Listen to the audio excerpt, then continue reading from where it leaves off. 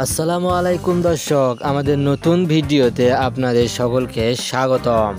ছাত্র রাজনীতির বিরুদ্ধে একের পর এক ষড়যন্ত্র করতেছে বিএন আওয়ামী লীগ নেতাকর্মীরা। আওয়ামী লীগ নেতাকর্মীদের তাই এবার কোনোভাবে দাম দিতে চাচ্ছে না সাধারণ জনগণ। ছাত্ররা যেভাবে রাজপথে নেমেছে এবং তাদেরকে যেভাবে রাজনীতির মাধ্যমে তাদেরকে অত্যাচার করা হচ্ছে এই অত্যাচারের প্রতিশোধ কোনোভাবেই ভুলে যাবে না ছাত্ররা। কেননা ছাত্র রাজনীতির উপর এখন পর্যন্ত কোনো রাজনীতি তৈরি হয় না। ছাত্ররা সকলে যদি একত্রিত হয়ে রাজপথে নামে, তাহলে সে রাজপথ পুরোপুরি ছাত্রদের দখলে চলে আসবে। আপনারা কিংবা আমি হয়তোবা ভাষা আন্দোলন উনিশশো সালের ভাষা আন্দোলন দেখিনি, কিন্তু আমরা দেখব জুলাইয়ের পনেরো তারিখে ছাত্রদের উপর যেভাবে অত্যাচার করা হয়েছে, এই অত্যাচার কোনোভাবেই কাম্য নয়। প্রতিটি ক্ষেত্রে যেখানে ছাত্ররা তাদের নিজেদের মতো করে দেশে স্বাধীনতা ফিরিয়ে আনতে চায়, সেখানে তাদেরকে নতুন করে অত্যাচার করা হচ্ছে। ছাত্ররা চেয়েছিল যে শুধু কোঠা নির্মূল করতে, কিন্তু সে ছাত্রদের কথা কোনোভাবে গুরুত্ব দেয়নি। কিন্তু ছাত্ররা যে থামবার পাত্র নয়। ছাত্ররাও চায় যে কোটা নির্মূল করতে যা যা করতে হয় সব কিছুই করতে প্রস্তুত ছাত্ররা।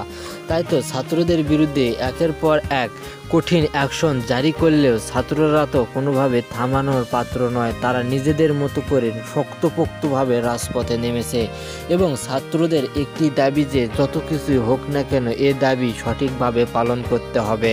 তাই তো এবার হুমকির মুখেও রয়েছে আওয়ামী লীগ নেতাকর্মীরা। কেননা আওয়ামী লীগ নেতাকর্মীরাই কোটার দাবি তুলেছিল এবং পঞ্চাশ পার্সেন্ট কোটা থেকে তারা আশি পার্সেন্ট কোটায় আনতে চাচ্ছে। কিন্তু আশি পার্সেন্ট কোটাতেও ছাত্রছাত্রীরা রাজি হবে না। কেননা এতগুলো শহীদ হয়েছে এই কোটা আন্দোলন করতে গিয়ে এসব কি শুধু আশি পার্সেন্ট কোটাতেই সীমাবদ্ধ থাকবে? যেসব পুলিশ যেসব পুলিশেরা ছাত্রদের উপর নির্মমভাবে অত্যাচার করেছে, সেসব পুলিশদেরকেও একের পর এক বের করা হচ্ছে এবং তাদের বিরুদ্ধেও কঠিনভাবে অ্যাকশন জারি করা হবে। ছাত্ররা কি জিনিস কিংবা ছাত্ররা যে কি করতে পারে তা আবারও বুঝে দিতে চলেছে এই পুরো দেশবাসীকে।